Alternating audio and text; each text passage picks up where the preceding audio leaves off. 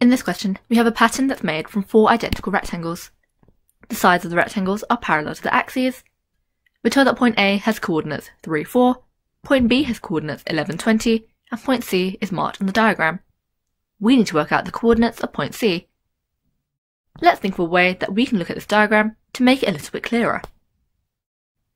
This new diagram is identical to the original diagram, but we've labelled in some measurements. We've assumed that the horizontal side has a length of x and the vertical side has a length of y, and since all four rectangles are identical, we can use this for each of the rectangles. We want to find the vertical length and the horizontal length. And so if B has coordinates 11, 20, we can see that the x coordinate of B would be 11 and the y coordinate of B would be 20. The same goes for point A, 3, 4. The x coordinate is 3 and the y coordinate is 4. Now to find the value of point C, let's start by finding the values of x and y. We can say that this vertical length here is equal to 20. And so let's see if we can create an expression with x and y based on this length.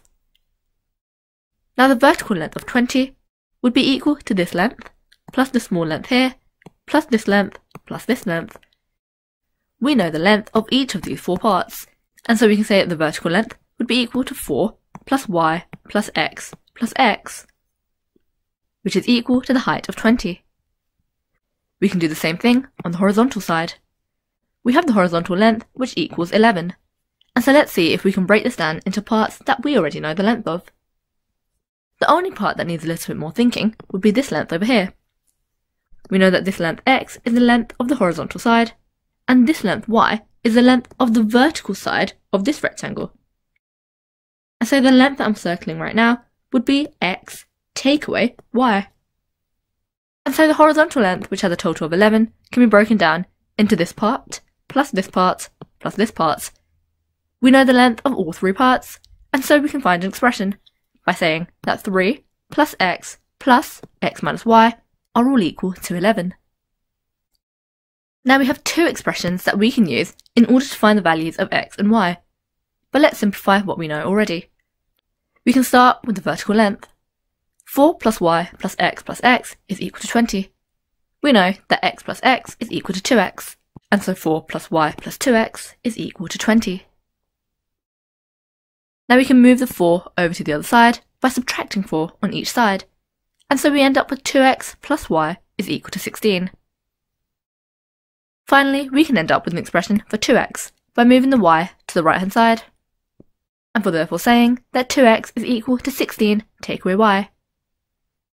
Let's see if we can do the same thing for the horizontal length. We have 3 plus x plus x minus y is equal to 11. Just as before, x plus x is equal to 2x, and so 3 plus 2x take away y is equal to 11. We can move the 3 to the right hand side by subtracting 3 from each side, and we end up with 2x take away y is equal to 8. And finally, to get an expression for 2x, we can move the y over to the right hand side, and we end up with 2x is equal to 8 plus y. Now you can see here that we have two sets of simultaneous equations. We have 2x is equal to 16 take away y, and 2x is equal to 8 plus y. In order to find the value of x and the value of y, we can set these up as equal to one another.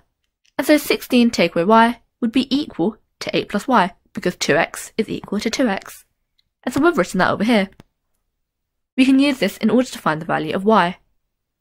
And so up here, we've moved the minus y to the right hand side, and we've moved the 8 to the left hand side.